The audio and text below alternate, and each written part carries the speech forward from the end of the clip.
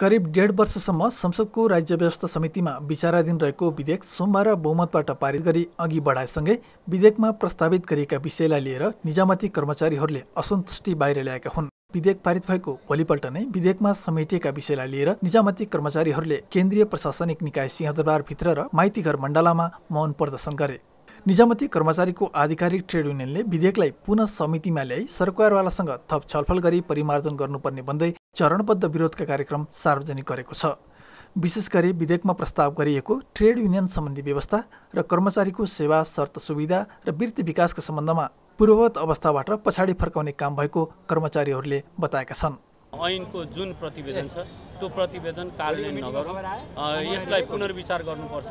भनेर हामी यो अफिस आवर पछाडि यहाँ साथीहरूसँग आएका छौँ र अर्को भनेको श्रेणीविहीन कर्मचारी कार्यालय सहयोगी भए त्यसपछि राजपत्र अनङ्कित कर्मचारी भए उनीहरूको वृत्ति विकासका कुराहरूलाई चाहिँ हिजो पाएको वृत्ति विकास पनि तोकिएको हिजो कम थियो भन्दै थियौँ हामी। ती कुरालाई वञ्चित गरेको छ अनि आज सिंहदरबारमा सबै खालका कर्मचारीहरूको आफ्नो आफ्नो रियालीहरू निस्किने गरेको छ। यस्तो अराजकता सिर्जना गर्ने काम चाहिँ ऐनले भनेको छ। त्यसले गर्दा यसलाई चाहिँ हटाउनुपर्छ। विधेयकमा प्रस्तावित उमेर हद पदपूर्ति सरुवा अवकाश सम्बन्धी व्यवस्था आम कर्मचारीको वृत्ति विकास र हक हितसँग सम्बन्धित विषय भएकाले यी व्यवस्था परिवर्तन गर्दा कम्तीमा आधिकारिक ट्रेड युनियनसँग छलफल र सहमतिबाट परिवर्तन गर्नुपर्ने उनीहरूको जोड छ। त्यो विधेयकलाई जति सक्दो चाँडो फेरि पनि राज्य व्यवस्था समितिमा ल्याउनुपर्छ। त्यहाँ अलिक वृहत रूपमा संसदमा त हामी त्यहाँ बसेर चाहिँ छलफल गर्न सक्दैनौँ। राज्य व्यवस्था समितिमा आयो भने कम्ती समितिले पनि हामीलाई बोलाउँछ आधिकारिकलाई बोलाउँछ छलफल हुन्छ विज्ञहरूलाई बोलाएर छलफल हुन्छ। यहाँ त के भने सांसदहरू आफै एककोट जस्तो भएर आउनु हो क्या? विज्ञहरूलाई उहाँले चाहिँ मूल्याङ्कनै गर्नुभयो त्यसरी होइन?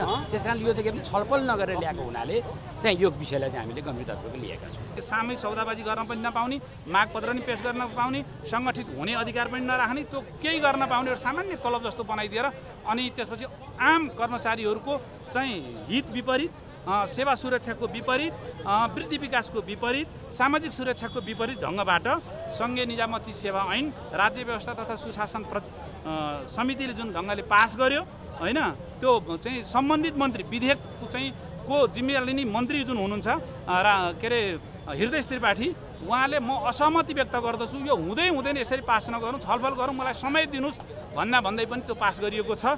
समितिमा डेढ वर्षसम्म अड्किएको विधेयकका मुख्य प्रावधानमा सोमबार समितिका केही सदस्यको असहमति र सरकारवाला सङ्घीय मामिला तथा सामान्य प्रशासन मन्त्री हृदय त्रिपाठीको असन्तुष्टिका बीच विधेयकको मस्यौदा स्वीकृत गरिएको थियो।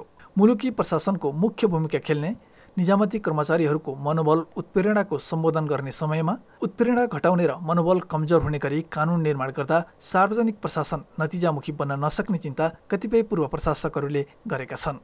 कुमार शर्माको साथमा राजेन्द्र पोखरेल नेपाल टेलिभिजन।